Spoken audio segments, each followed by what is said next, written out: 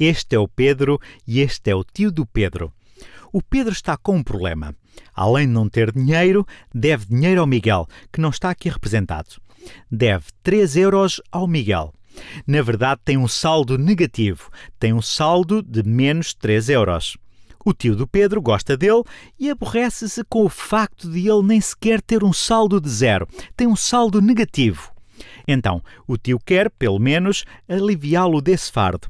Quer recolocá-lo numa posição em que tenha saldo neutro, de zero. Então decide anular, decide anular o saldo negativo do Pedro. Quer anular o menos 3. O que acontece se subtrairmos esse menos 3? Bom, ficamos novamente com zero. Se subtrairmos o que quer que seja, se tivermos algo e o subtrairmos, voltamos ao zero. Do mesmo modo, se tivermos uma dívida e eliminarmos essa dívida, também voltamos ao zero. Podemos ver isto ainda de outra forma. Como irá o tio do Pedro eliminar essa dívida? A forma mais fácil de o fazer, se o saldo inicial do Pedro for de menos 3, é dar-lhe 3 euros é dar-lhe 3 euros, de modo que ele volte a ter um saldo de zero.